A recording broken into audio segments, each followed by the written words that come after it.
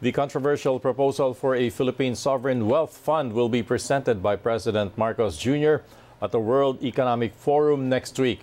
The Philippine Foreign Affairs Department says the forum in Davos, Switzerland is a great venue for a soft launch of the fund. The global gathering will be held from January 16th to the 20th. It's um, to introduce it. Uh, I, I understand it is evolving. We have the fullest respect for the congressional process and the open hearings that they're having and how to the, work out the details. But the broad strokes of it, the president has a very, very good grasp of what he wants to achieve, uh, whatever form the sovereign wealth fund uh, finally takes.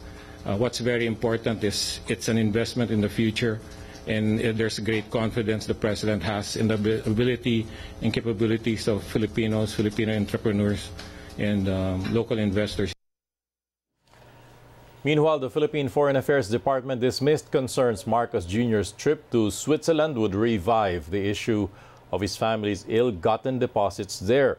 The president's mother, Imelda Marcos, was convicted in 2018 by the Philippine Anti-Graft Court on seven counts of graft. Prosecutors alleged the Marcos family had funneled public funds into their secret Swiss bank accounts. Meron po tayong um, malino na framework for legal cooperation with Switzerland.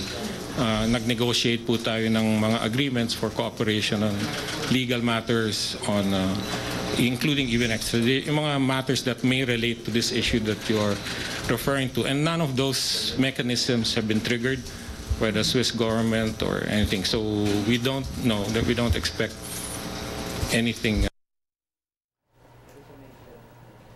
The new heads of the Philippine Defense Department and the Armed Forces deny reports of unrest in the military. They presented a united front on Thursday when they held a joint press conference since assuming their new posts.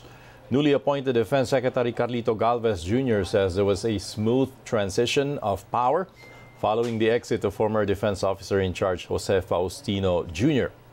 He adds he is satisfied with the current composition of the defense team.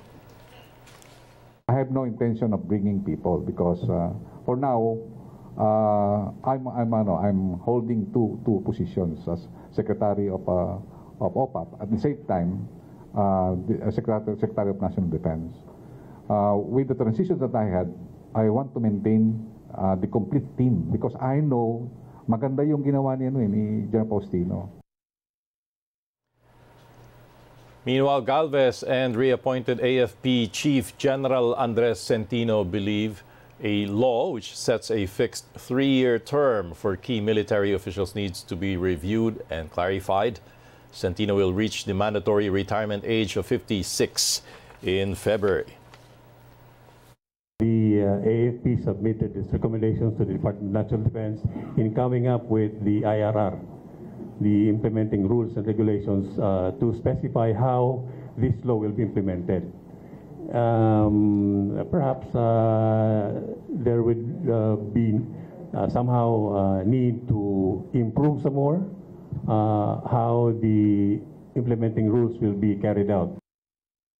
Flooded areas in Visayas and Mindanao under a state of calamity. In San Miguel Leyte, residents were forced to leave their homes due to rising floodwaters. The evacuation stretched into the night as rescuers used boats to ferry residents.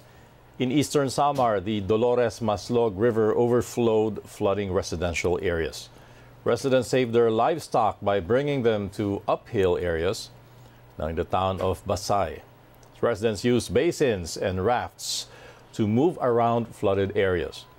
In Mindanao, around 12,000 families in Zamboanga City are affected by non-stop rains. The local government has declared a state of calamity to expedite the release of emergency funds.